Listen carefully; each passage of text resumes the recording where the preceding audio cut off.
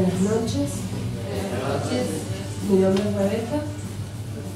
Vengo a utilizar este espacio para llamar a la reflexión de todos los que estamos aquí presentes para que tratemos de ponernos en el lugar del otro. En este sistema capitalista en el que vivimos, todos somos clientes, todos consumimos. Siempre algo tenemos que comprar y todo eso. Pero no todos somos vendedores. Yo cuando no era vendedora, no me importaba la vida del vendedor. Era clienta y bueno. Los vendedores saben cuáles son las tareas que tienen que realizar. Les dan una capacitación, entonces saben lo que tienen que hacer y saben para lo que les pagan. Hola, buenas tardes. ¿Estás buscando algo en especial? No, estoy mirando. ¿Qué te molesta? En el bono de sueldo no tengo un ítem que diga adicional por maltrato. Te estoy preguntando porque no me queda otra. No me contestes mal, decime que estás mirando y punto. Los clientes hacen preguntas a los vendedores que no tienen respuesta, o que no saben, o que no han sido capacitados para contestar. ¿Qué pasó con la chica del stand que no está? El stand de afuera, no es el stand donde yo trabajo. Señora, ¿se fijó por el agujero transportador si no está en otra galaxia?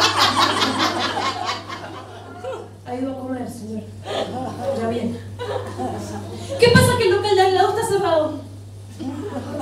La vendedora falleció. Le dio una ceba y murió. Está cagando. Y dice un cartel, vuelvo en cinco minutos, estoy cagando. Es detenerse a pensar cinco minutos, nada más. Es difícil. Es difícil estar del otro lado. Pasan estas cosas, termina el horario de trabajo, salgo del trabajo, pensando en todo lo que podría contestarles y no puedo. Voy caminando por la calle y escucho unos sonidos extraños que vienen de un auto que yo no veo, sino que escucho. Ruidos extraños.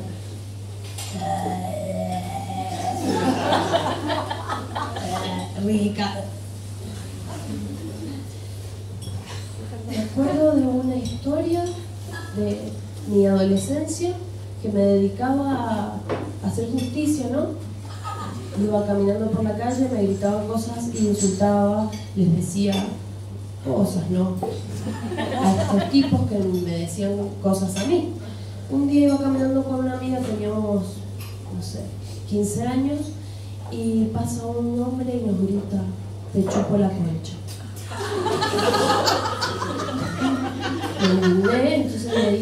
Borracho, viejo verde. ¿Qué hizo el señor? Se volvió. Se bajó del auto y nos empezó a decir que por qué le habíamos dicho viejo verde. Claro, estaba bien que él nos dijera te chupo la concha, desde ese día nunca más volví a contestar nada porque me dio miedo. Me acordé de eso y dije, basta, estoy cansada de estas cosas. Entonces cuando eh, seguía escuchando, dije, bueno, si me pasan les digo algo. Me pasaron, entonces les hice facto. ¿Qué hizo? El señor salió por la ventanilla, medio cuerpo afuera y me gritó, anda, gorda culiada. ¿Cómo me voy a atrever a demostrar mi indignación si todas las mujeres somos propiedades de los hombres? Si ellos nos quieren decir cualquier cosa, nosotras tenemos que... ¿Cuál es el objetivo? Una vez le pregunté a un filósofo al que soy hermana y le dije, loco, ¿cuál es el objetivo de estos tipos? Porque no van a conseguir nada si nos dicen todas esas cosas. Y me dijo, ellos necesitan demostrar su sexualidad, porque no están seguros de su sexualidad. entonces son homosexuales, que no se hacen cargo. Y está todo bien, estamos en el siglo XXI. Me puse a pensar y dije, ¿cuál sería la solución para esto? Porque estamos desprotegidas absolutamente. Gritamos, contestamos y nos dicen gorda culeada si es que no se paran y nos hacen otra cosa. Me puse a pensar y dije, gas pimienta para todas. Tener un arma para poder defendernos de cualquier cosa. Y se puede usar en todos los ámbitos de la vida, ¿no? Cuando vamos manejando, ¿cuántas veces nos han puteado? Andar a lavar los platos. Hermano, si no me arranca el auto, es por algo. Si no avanzo, es por algo. Si estoy manejando en la calle porque tengo carne y si no avanzo, es por algo. Estará el semáforo rojo, el auto adelante no avanza, se me habrá, habrá levantado temperatura mi auto. Te estoy poniendo balizas, no me putees. Uno con el gas pimienta en la mano, yo haría esto. Pongo baliza, me bajo, pedime perdón. Dale, pedime perdón. Ándalo, me putearía, andar a los platos, pedime perdón. No lo volverían a hacer. Si todas lo, lo hacemos, esto pararía. A vos te hablo, vivaracho, loco, hace terapia, así podés asumir tu homosexualidad. A vos, que gordes a tu novia, hacete un cursito, así levantas el autoestima. A vos, pijudo, macho, machote argentino, que maltratas a tu esposa, hacerte un taller de cómo dejar de tener complejo de inferioridad. Y gas pimienta para todas, porque obvio que no lo van a hacer. Sigo mi camino pensando todo lo que podría hacer con el gas pimienta. Me acuerdo que tengo que comprar manteca de cacao. Me meto a una farmacia, como soy vendedora no molesto a los vendedores, me fijo en las botas de dónde está la manteca de cacao. Estoy viendo cuál de las dos me llevo, si la Nivea o la Avon, y empiezo a sentir en el hombro esto. Oh, disculpame, ¿vos atendés?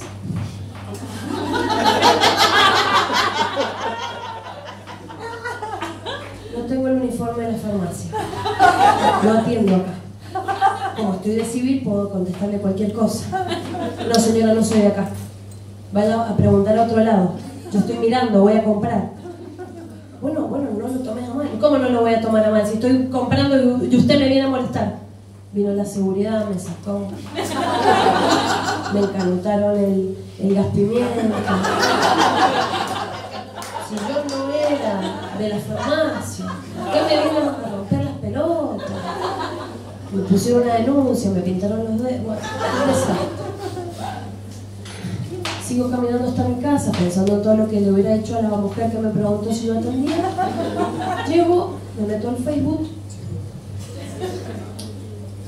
y veo un mensaje de una persona que no conozco, que me dice que yo, como tengo todos estos pensamientos en contra de los clientes, que no en contra de los clientes, sino en contra de las personas que me hacen preguntas que yo no tengo respuesta. Ese es el problema que tengo, no, no, del trabajo. ¿Qué me va a hacer echar? Que conoce a la dueña del local donde trabajo que me va a hacer echar porque soy una grasa y una mediocre. Me pongo a ver su Facebook para ver quién era, si la conocía. Promotora de las picadas de la valla. Me dice grasa a mí.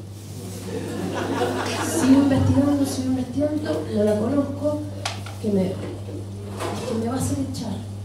Digo, esta persona, promotora de las picadas, me va a hacer echar a mí, ¿cómo puede ser?